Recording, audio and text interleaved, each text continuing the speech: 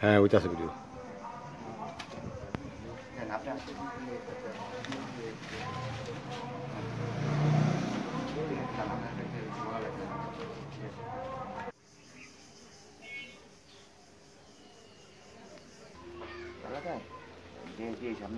খবর পাবে আসার থেকে বেরোনোর পরে এই সাবান দিয়ে হাত ধুবেন কারণ হাত দিয়ে আর ঘরে ঢুকবেন এর আগে ঘরে ঢুকবেন বাচ্চা হাত